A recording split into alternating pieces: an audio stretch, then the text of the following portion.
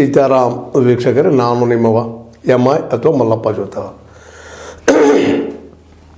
ಈಗ ನಿಮ್ಮ ಜೊತೆ ಭಾಳ ಮಹತ್ವದ್ದು ಮತ್ತು ಈ ದೇಶದ ಬೆನ್ನೆಲುಬು ರೈತ. ಇವತ್ತು ದೆಹಲಿ ಕಡೆ ಹೊರಟಿದ್ದಾನೆ ಅದರಲ್ಲೂ ಪಂಜಾಬದ ರೈತ, ಹರಿಯಾಣದ ರೈತ, ಪಶ್ಚಿಮ, ಉತ್ತರ ಪ್ರದೇಶದ ರೈತ. ಮತ್ತು ದೇಶದ ಮೂಲೆ ಮೂಲೆಗಳಿಂದ ರೈತರು ಹೋಗ್ತಾ ಇದ್ದಾರೆ. ಮಹಾರಾಷ್ಟ್ರದಿಂದ, ಕರ್ನಾಟಕದಿಂದ, ತಮಿಳುನಾಡಿನಿಂದ. ಈಗ ಅಲ್ಲಿ ಜನ ಹೋಗ್ತಾ ಇದ್ದಾರೆ ಅವ್ರನ್ನ ಅಲ್ಲಲ್ಲಿ ಅಲ್ಲಲ್ಲಿ ತಡಿತಾ ಇದ್ದಾರೆ. ಕೇಂದ್ರ ಸರ್ಕಾರ ತಡಿತಾ ಇದೆ. ಇದಕ್ಕಾಗಿ ಪ್ಯಾರಾಮಿಲಿಟ್ರಿ, ಮಿಲಿಟ್ರಿ ಬಳಸ್ತಾ ಇದೆ. C R C R P ಬಳಸ್ತಾ ಇದೆ. ಇನ್ನುಳಿದ ಸೈನಿಕರನ್ನು ಬಳಸ್ತಾ ಇದೆ. ಒಟ್ಟಿನಲ್ಲಿ ರೈತರು ಒಂದು ಕಡೆ ಜಮಾ ಆಗಬಾರ್ದು. ಈ ಕೊನೆ ಸಲ ಆದಂಥ, ಎರಡು ಸಾವಿರದ ಇಪ್ಪತ್ತರಲ್ಲಿ ಆದಂಥ ಮೂಮೆಂಟಿಗೆ ಆಗಬಾರ್ದು. ಹದಿಮೂರು ತಿಂಗಳವರೆಗೆ ಒಯ್ಯುವಂಥ ಒಂದು ಮೂಮೆಂಟ್ ಆಗಬಾರ್ದು. ಯಾಕಂದರೆ ಈ ಚುನಾವಣೆ ಮುಂದೆ ಬಂದದ. ಆ್ಯಟ್ ಎನಿ ಕಾಸ್ಟ್ ಏನು ಬೇಕಾದಾಗಲಿ ಅವ್ರನ್ನ ತಡೀಬೇಕು ಅಲ್ಲೆಲ್ಲಿ ಅಂತೇಳಿ ಕೇಂದ್ರ ಸರ್ಕಾರ ದೃಢವಾದ ನಿರ್ಧಾರ ಮಾಡಿ ಎಲ್ಲ ಕಡೆನೂ ಪೂರ್ತಿಯಾಗಿ ಇವರು ರೈತರು ಒಂದೇ ಕಡೆ ಕೊಡ್ದಂಗೆ ಒಂದು ದೊಡ್ಡ ವ್ಯವಸ್ಥೆಯನ್ನು ಮಾಡ್ತಾ ಇದ್ದಾರೆ. ನಿಜವಾಗಿ ದೇಶದಲ್ಲಿ ಯುದ್ಧ ನಡೆದು ಏನೋ ಅನ್ನುವಂಥದ್ದು. ನಿಜವಾಗಿ ನಮ್ಮಲ್ಲೇ ಆಂದೋಲನ ಮಾಡುವಂಥದ್ದು, ನಮ್ಮ ಹಕ್ಕುಗಳನ್ನ ಕೇಳುವಂಥದ್ದು, ಅದನ್ನು ಆಲಿಸ್ಬೇಕಾದಂಥ ಸರ್ಕಾರ ಇವರಿಬ್ಬರಿಗೂ ಕರ್ತವ್ಯ, ಹಕ್ಕು ಎರಡೂ ಇದ್ದಾವೆ ನಮಗೆ ರೈತರಿಗೆ ಹಕ್ಕಿದ್ರೆ ಸರ್ಕಾರಕ್ಕೆ ಅದರ ಕರ್ತವ್ಯ ಅದು. ಆದ್ರೆ ಆ ಕಡೆ ಲಕ್ಷ್ಯ ಇಲ್ಲ ಅವ್ರಿಗೆ ನಮ್ಮ ಕೇಂದ್ರ ಸರ್ಕಾರಕ್ಕೆ. ಅದರಾಗೂ ಕಳೆದ ಚುನಾ ಕಳೆದ ಒಂದು ರೈತ ಮೂಮೆಂಟ್ನಲ್ಲಿ ಆದಂಥ ಘಟನೆ ಮತ್ತೆ ರಿಪೀಟ್ ಆಗಬಾರ್ದು. ಯಾಕಂದರೆ ಈಗ ಎರಡೇ ತಿಂಗಳಲ್ಲಿ ಚುನಾವಣೆ ಅದ.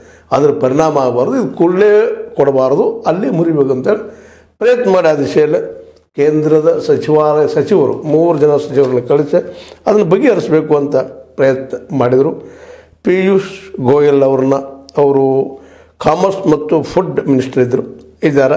ಮುಂದೆ ಎಂ ಒ ಎಸ್ ಆದಂಥ ಅಗ್ರಿಕಲ್ಚರ್ ಅಥವಾ ಒಕ್ಕಲ್ತನದ್ದು ನಮಗೆ ಅರ್ಜುನ್ ಮುಂಡಾ ಅವ್ರನ್ನ.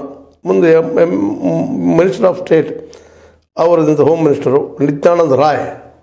ಇವ್ರನ್ನ ಕಳಿಸಿ ಈ ರೈತರ ಒಂದು ಮೂಮೆಂಟನ್ನು ಅಲ್ಲಿ ತಡಿಬೇಕು ಅನ್ನೋಂಥ ಪ್ರಯತ್ನ ಮಾಡಿದರು. ಆದರೆ ರೈತರು ಇವರು ಯಾರ ಮಾತನ್ನು ಕೇಳೋ ಸ್ಥಿತಿಯಲ್ಲಿ ಇಲ್ಲ ಅನ್ನೋದು ಈಗಾಗಲೇ ಸ್ಪಷ್ಟ ಆಗಿದೆ. ಅದು ಮಾತುಕತೆ ಮುರಿದು ಬಿದ್ದಿದೆ ಈಗ.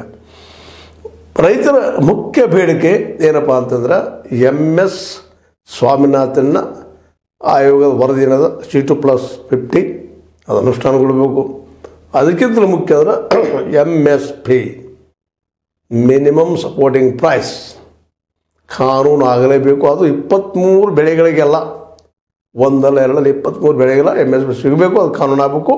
ಅದೇ ಇದರಲ್ಲಿ ಮಾರಬೇಕು. ನಮಗೆ ಸಿಗಬೇಕು, ರೈತರಿಗೆ ಬೆಲೆ ಸಿಗಬೇಕು ಅನ್ನುವಂಥದ್ದು.